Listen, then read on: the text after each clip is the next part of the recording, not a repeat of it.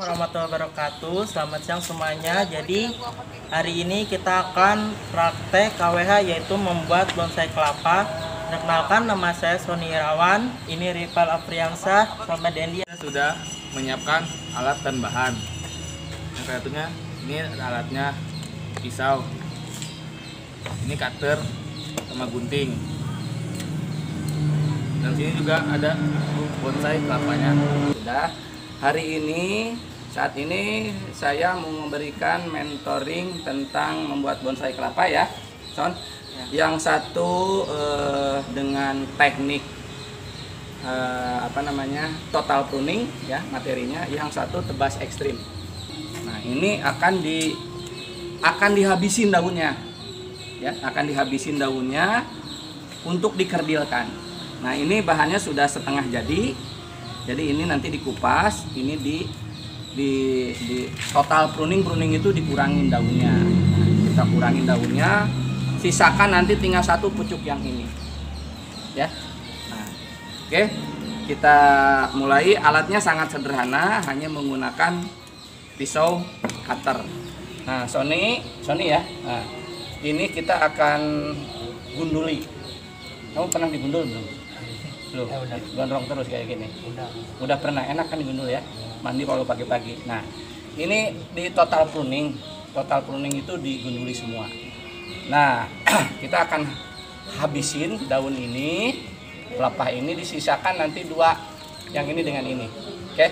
Nah, kita eh, Bapak kasih contoh dulu. Ya, nah ini ambil pelepah yang paling bawah dulu. Nah, ini pelepah pos posisi motongnya